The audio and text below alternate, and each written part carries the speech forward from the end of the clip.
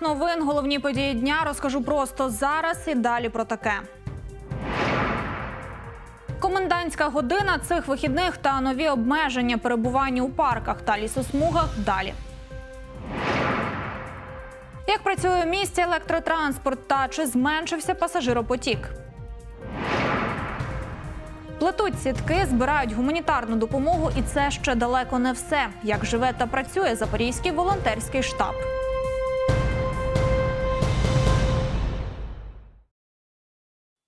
Наші захисники продовжують нищити ворога. Так за минулу добу на Донецькому та Луганському напрямках було відбито сім атак рашистів. Знищено чотири танки, дві артсистеми та з десяток броньованих машин і автомобільної техніки окупантів.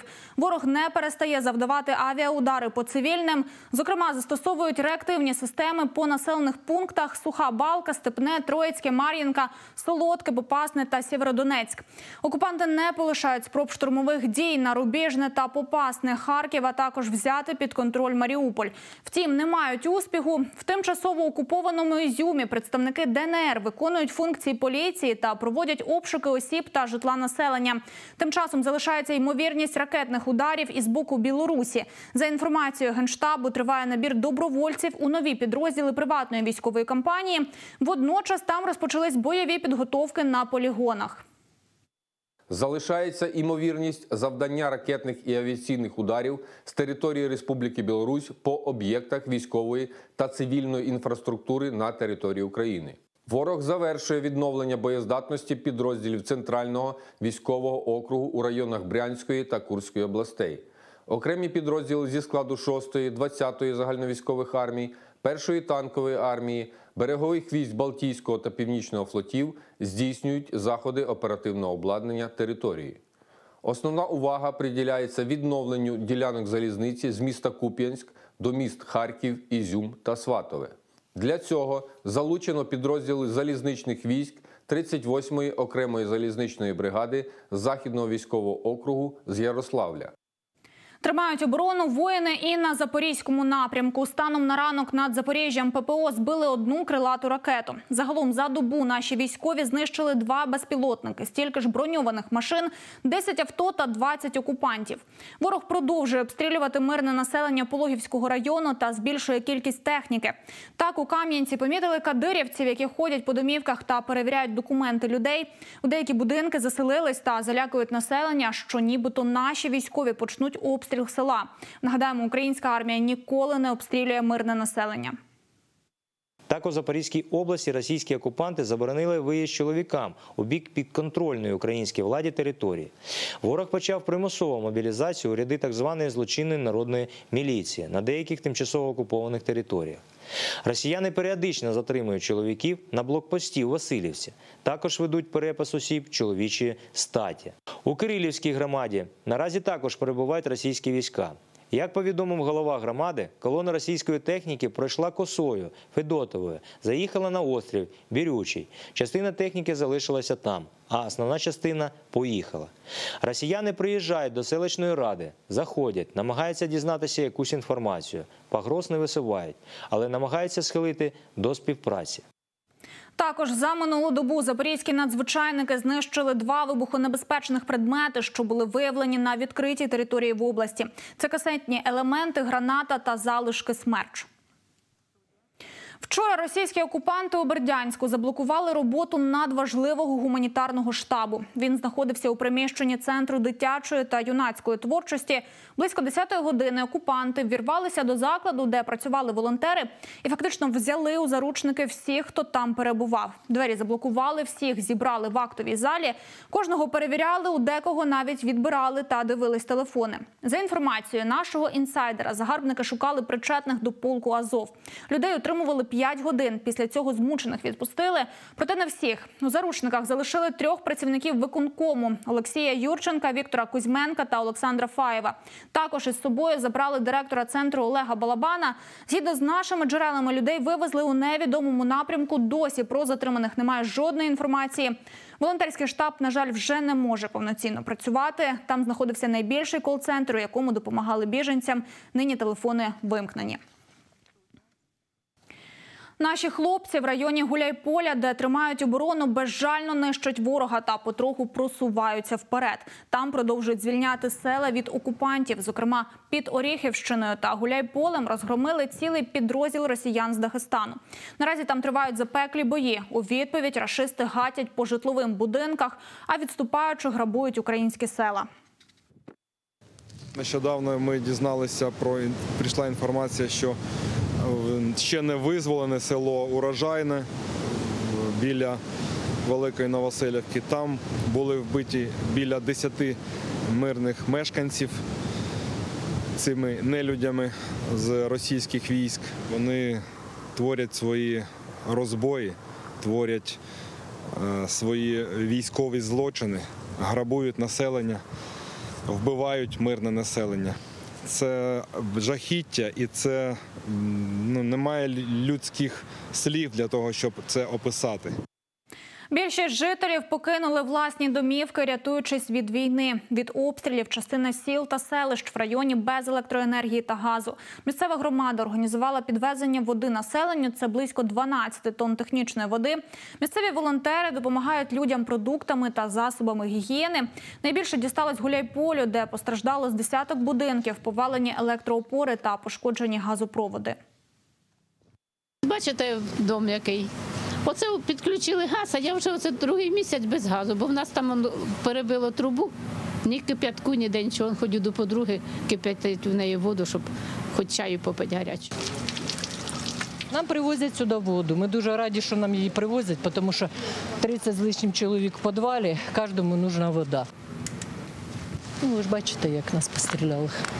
У мене у дітей квартири практично немає. Нагадаємо, до цього українські військові звільнили п'ять сіл під Гуляйполем. Це Затища, Весела, Зелений Гай, Червоне та Малинівка.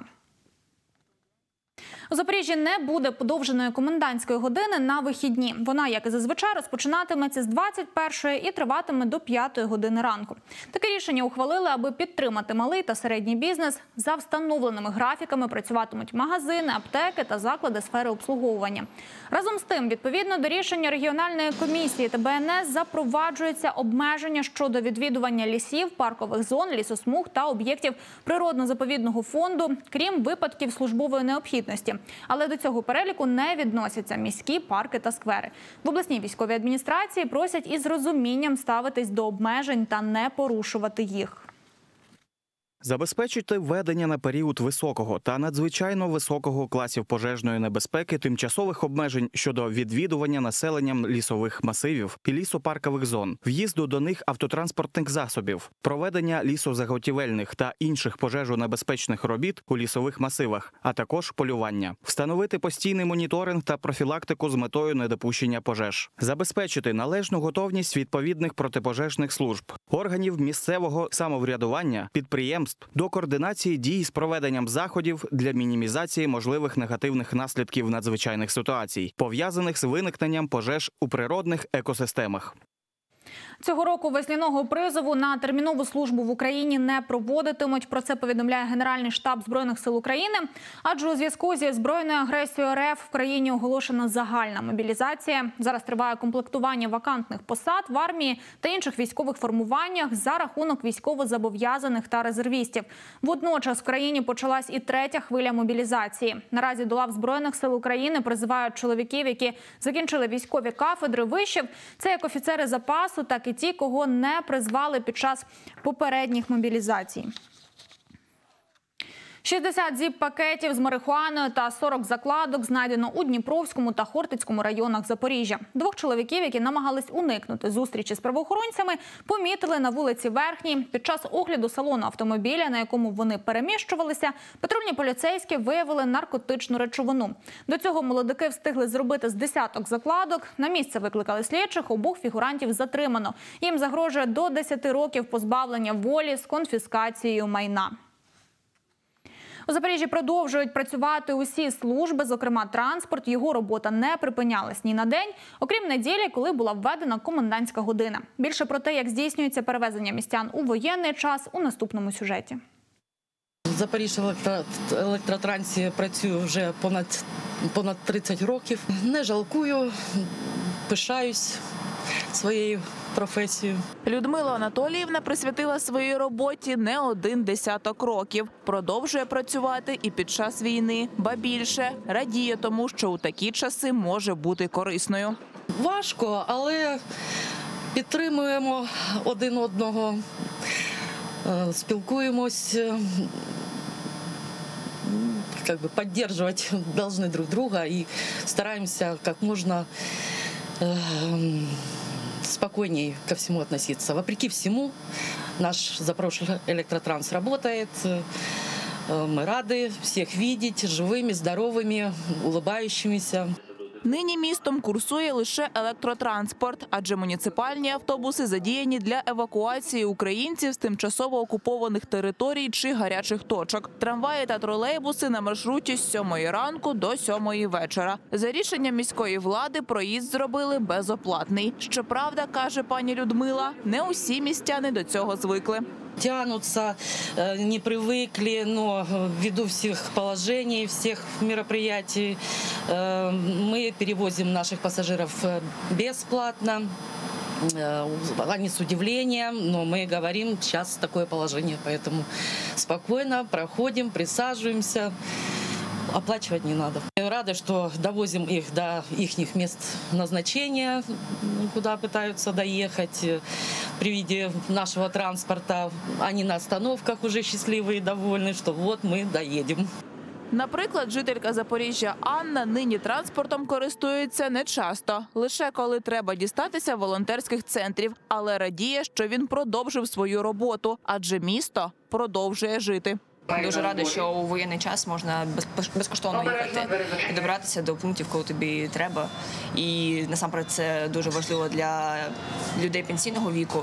Тому я думаю, що це дуже гарна ініціатива. До речі, нещодавно підприємство Запоріж Електротранс проводило дослідження пасажиропотоку. Згідно з обстеженням, кількість містян, які користуються муніципальним транспортом, не зменшилась, а навіть трохи збільшилась. Нагадуємо, що нині відслідковувати рух трамваїв та тролейбусів не можна, адже з міркувань безпеки на транспортних засобах відключили GPS-навігатори і електронні табло на зупинках. На сьогоднішній день е, трамваї виходять на 6 маршрутів. Тролейбуси виходять також на 6 маршрутів. Однак е, ще е, відкритий новий маршрут тролейбуси, який з'єднує е, Шевченківський та Південний мікрорайони. Зважаючи на те, що у Шевченківському районі немає контактної мережі, за цим маршрутом курсують автобуси на автономному ходу. Крім цього, щодня весь парк проходить технічний огляд та санітарну обробку. У місті постійно проводиться відновлення маршрутів. Так, сьогодні знову почав курсувати тролейбус номер 9. Він прямує від БК Залк до вулиці Сядова. Також у місті продовжують працювати приватні перевізники. Щоправда, на деяких маршрутах ціни на проїзд неочікувано зросли з 8 гривень до 10. Міська рада чи виконком таких рішень не приймала. Особисто я вважаю такі дії в воєнний час недопустимими. Місто пообіцяло владнати цю ситуацію з перевізниками та застерегло водіїв не наживатись на людях у воєнний час. Марина Клюєва, Микита Дейнега, телеканал МТМ. З перших днів війни Запорізький молодіжний центр спільно з громадською організацією свої розгорнув волонтерський штаб із допомоги військовим, переселенцям та тим, хто постраждав від військової агресії РФ. Саме там розподіляють міжнародні гуманітарні вантажі, а також виготовляють захисне екіпірування. Докладніше розповість Артур Туркін. Це швейний цех волонтерського штабу. Починали з білизни та устілок. А наразі шиють вже навіть розвантаження та захисні жилети під пластини. Зразки взяли у військових, потім зробили викрійки. Залишилося лише перенести на тканину. Саме цим наразі займається волонтерка Анастасія. Ми з дівчатами працюємо у швейному цеху, робимо розгрузки, бронежилети. Довго до цього йшли, розрабатували. Наших плитоносик вже готові, і наразі тільки одна розгрузка. Але ми працюємо над цим. В цих великих коробках гуманітарна допомога, а саме одяг із-за кордону. Наразі волонтери займаються сортуванням речей за віком та статтю. Є також ковдри та постільна білизна. Надали благодійники і засоби гігієни та побутову хімію. Гуманітарної допомоги дуже багато. Вона є із Іспанії, із Італії. Одягу у нас дуже багато і для мирних е, жителів нашої країни, тобто жіночий, чоловічий одяг, це все сортується. І дитячий є окремий. І також є військова форма для воєнних наших. А тут збирають медикаменти для цивільних та військових. Великі посилки поїдуть до окупованих громад та лікарень області. Наші військові отримують індивідуальні аптечки. Найбільшим попитом користуються жарознижувальні та знеболювальні препарати, кажуть волонтери. У нас вже був досвід відправки ліків. Ну, принаймні, ми збирали. Ми не знаємо, чи вони доїхали в Маріуполь, е, в Бердянськ, Мелітополь. І взагалі по всій Запорізькій області ми вже в принципі від, від, відпрацювали. А найбільшим попитом ну, це зазвичай е, жарознижувальні. Е, Знеболювальні і, ну скажімо так, для військових там потрібно багато перев'язки. Дуже от е, цього, на жаль, поки що не вистачає на всіх охочих, скажімо так. Е, Також антибіотики, різноманітне активоване вугілля, ну і так далі.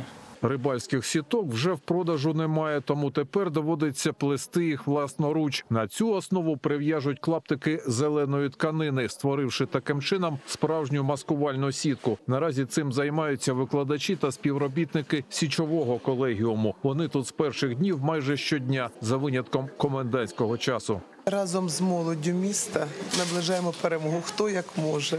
Ми плетемо сітки, ми, їх сплели велику вже дуже кількість.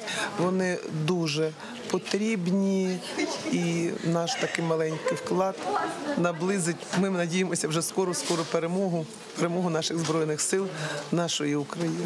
Щодня у волонтерському штабі приймають заявки та відвантажують ліки, продукти, одяг для тих, хто цього потребує. З початку війни вже виконано близько 4 тисяч заявок від пачки таблеток до тонн гуманітарної допомоги. Цим щодня за різними напрямками займаються близько тисячі волонтерів. Лише у Запоріжжі протягом тижня було доставлено 730 гуманітарних пакетів.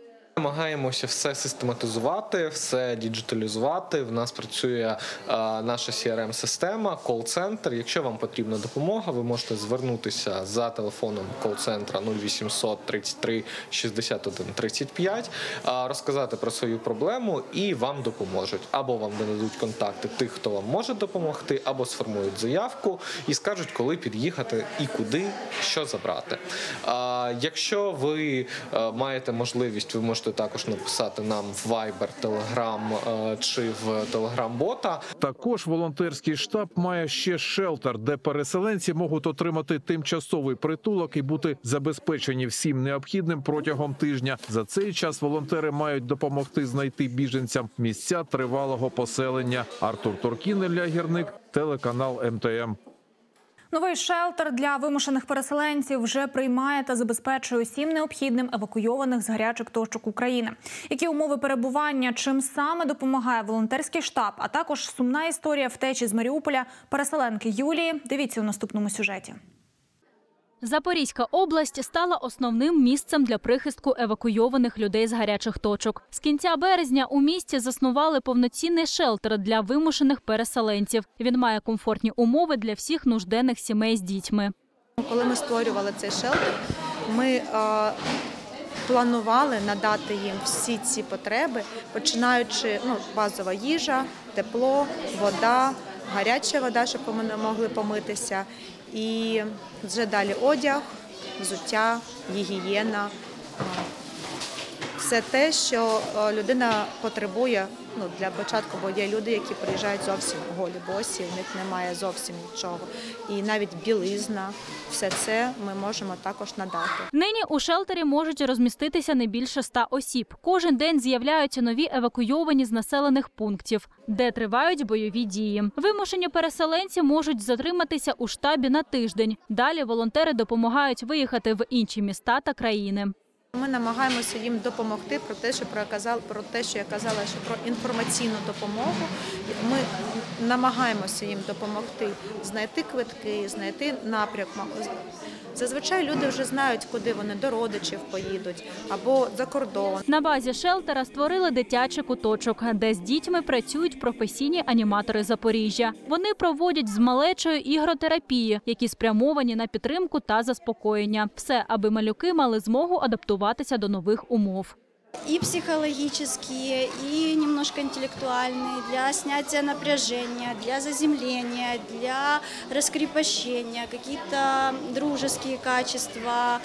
Ну, в принципе, весь спектр игр, который есть, мы не трогаем их какие-то боли, э, потому что ну, вы сами понимаете, что этого делать категорически нельзя. Поэтому мы максимум делаем позитивную, хорошую атмосферу, даем, да- дарим эмоции и пытаемся абстрагироваться от того, что происходит, и перенастроить детей. Шелтеру для продовження своєї діяльності на допомогу приходять волонтери, підприємці, які можуть забезпечити евакуйованих усім необхідним, громадські та благодійні організації, Запорізький центр молоді та усі небайдужі до вимушених переселенців. Наразі шелтер забезпечений усім необхідним. Також на місці працює штатний військовий психолог, який допомагає людям, що приїхали з гарячих точок України та знаходяться у важкому психологічному стані.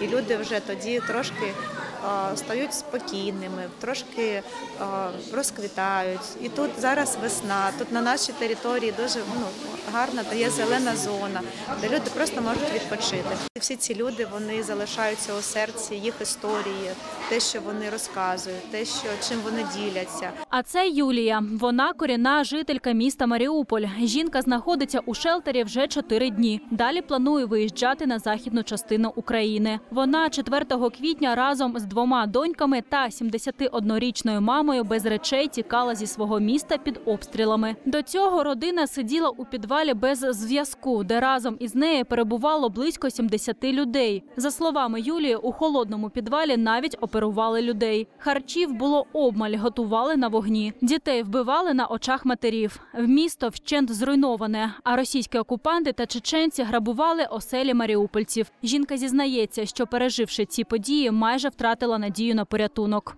Весь подъезд был в военных чеченцах. Э, Потом поступила информация, что дойдет до того, что они начнут насиловать, что такое будет. А у меня две девочки, и я понимала, что мне нужно выбираться, и, и поэтому как бы я искала любые возможности, как выехать с города. Но выехать нереально было. Только направление Российск- Российской Федерации. Нині вся сім'я Юлії знаходиться у безпечному місці шелтері. Жінка дякує всіх небайдужих людей, хто допоміг виїхати з її рідного міста та надав прихисток. Вона вірить та впевнена, що Україна переможе. Мы выдохнули, мы, мы на территории Украины. Я до сих пор не верю тому, что я пребываю в моей любимой стране. Вот. Но мы счастливы. Мы, наша, э, ну, у- наши украинцы самые замечательные, самые лучшие, э, сплоченный такой народ. И чем больше нас э, э, подвергают угрозе жизни, мы объединяемся, и мы, мы виживемо при будь-якій обстановці. Запоріжжя продовжує тримати волонтерський фронт. Повноцінний прихисток може отримати кожний переселенець з гарячих точок України. Шелтер працює цілодобово та приймає до себе всіх евакуйованих. Анна Давидова, Антон Бондаренко, телеканал МТМ. Більше інформації знаходьте у нашому телеграм-каналі. Також пропонуйте власні новини через телеграм-чат-бот. І на цьому у мене все. Будьте мужніми та сильними. Дізнавайтесь новини лише з перевірених джерел.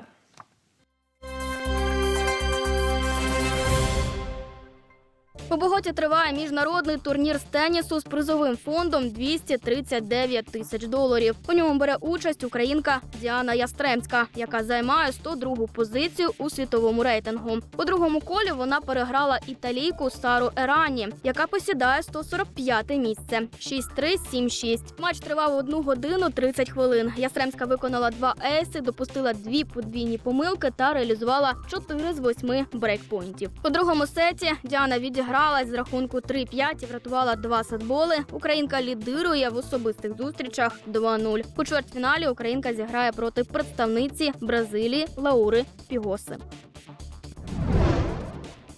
Клуб Національної баскетбольної асоціації Мілуокі підписав контракт із розігруючим Лукою Вільдосою. Аргентинець повністю відновився після операції на стопі і готовий допомогти Баксу плей-офф нинішнього сезону. Він отримав у команді шостий номер. За неофіційною інформацією, угода розрахована до 23-го року. Вільдоса раніше приєднався до Нью-Йорк Нікс, але не зміг виявити себе через проблеми зі здоров'ям та був відрахований у жовтні 21-го року. Команди Формули 1 просять збільшити ліміт бюджетів через ріст інфляції. Згідно з фінансовим регламентом, ліміт можуть підняти, якщо річна інфляція у країнах Великої Сімки перевищить 3% на вересень попереднього року. Тоді інфляція не досягла такого рівня, тому команди F1 не можуть претендувати на збільшення ліміту у 22-му. Але у цьому сезоні витрати команд на електроенергію та перевезення виросли на 6 мільйонів доларів. Тому вони вважають, що це повинно бути негайно вирішено через збільшення ліміту. Останній раунд переговорів не призвів до компромісу між командами та керівництвом чемпіонату. Пропозиція розділити бонусні 7 мільйонів між сезонами 22 та 23 років не отримала схвалення.